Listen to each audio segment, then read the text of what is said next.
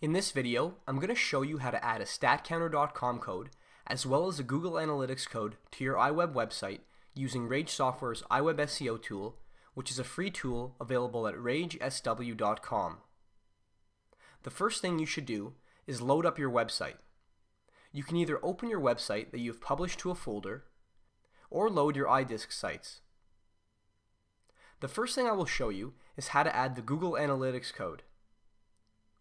In my web browser, my code is already there for me to copy. Go back to iWeb SEO tool, select one of the HTML files, and simply paste the code into the header code text box. Click on the Apply to Entire Site button, and now the Google Analytics tracking code will be placed on all pages within your site. The same method applies to the statcounter.com code. In my browser, the code is already there for me to copy. Back in iWeb SEO tool, once again, paste the copied code into the footer code text box and then click the Apply to Entire Site button. In order for the codes to track properly, you must ensure that the Google Analytics code goes in the header section and the stat counter code goes in the footer section.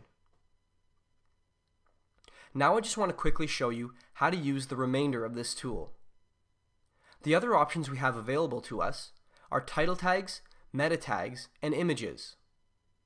The custom meta tags are for more advanced users, so don't worry about them right now.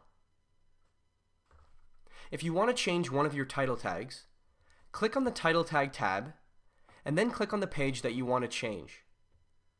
Then type in your new title tag and hit the apply button.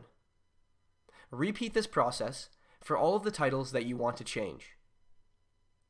The same thing goes for the meta tags. Click on the meta tags tab. Type in your website description and then type in the keywords that are relevant to your site. Then hit the apply button. For your images, click on the images tab and then double click on the alternative text that you want to change. Type in your new alternative text and repeat this process for as many images as you want. Then hit the apply button. Remember to be descriptive with your alternative text. Once you are done, you can publish your website directly from this tool. You can learn more about the best practices for optimizing your website for search engines with the Rage Software SEO for iWeb walkthrough video tutorial, available at ragesw.com.